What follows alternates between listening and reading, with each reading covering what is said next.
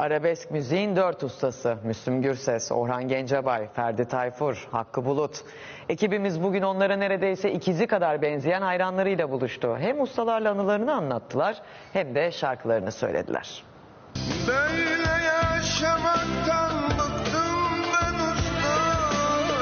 fotoğraf çektirmek istiyorlar, tanışmak istiyorlar. Susadım çeşmeye Ferdi Baba, Ferdi Baba biz böyle alıştık artık. Cevap ver 30 yıldır insanlar bize Orhan Usta diye hitap eder. Bu benim hayatım sorumlu olan ben Mahallede Hakkı Baba diyorlar. Müslüm Gürses'ten Ferdi Tayfur'a, Orhan Gencebay'dan Hakkı Bulut'a. Burası resmen ünlüler geçidi gibi. Gerçekten birebir.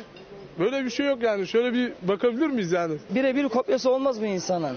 Hangimiz düşmedik kara sevdaya efendim arabesk müziğin efsanevi isimleri Müslüm Baba Çay Evi'nde bir araya geldiler. Benzerlikleri de öyle böyle değil. Sadece dış görünüş olarak görüyorsunuz şu an ama sesleri bile birebir aynı. Adam istek bir şarkı bekliyor. Onu gören şaşırıyor. Müslüm Gürses hayranları fotoğraf çektirmek için sıraya giriyor. Yine duygularım paramparça nerelerdesin Allah vergisi bu. Bizim herhangi bir kattığımız bir şey yok yani.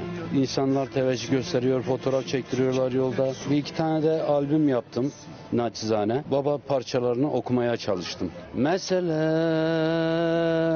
Bir sevda türküsüdür Sesi de fiziği de benziyor. Görenler Ferdi Tayfur sanıyor. Şarkılarıyla daha çok duygulanıyorum. Söyledikçe daha hoşuma gidiyor. Söyleye söyleye söyleye söyleye bu hale geldik nasıl bilmiyorum ben de anlamadım. Bizim onlara büyük bir hayranlığımız var. Bilsem uzaklarda kimler ağlıyor. Ferdi Tayfur'un o güzel şarkısını dinledik. Bitmedi. Hemen yanımızda Orhan Gencebay var. Çok gurur duyuyorum. Hatasız tanışma fırsatınız oldu mu Orhan Gencebay'la? Tabii ki ayaküstü evinin önünde 3 dakikada olsun görüşme şansımız oldu. Bu bizim 30 yıllık hayalimizdi. Şaşırdı, afalladı. Baktı sağımdan solundan analiz etti. Sen dedi nereden geliyorsun falan.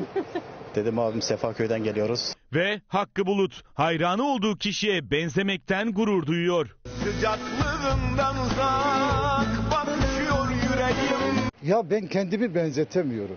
Böyle aynaya bakıyorum kendimi ben ama millet beni benzetiyor. Mahallede Hakkı Baba diyorlar.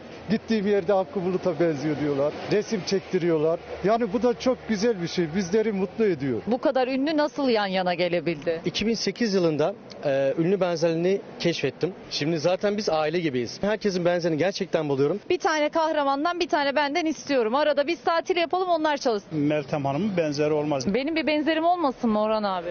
Olmasın. Neden? Siz bu kainatte tek olmalısınız. Bitiriyorum. Yaşamaktan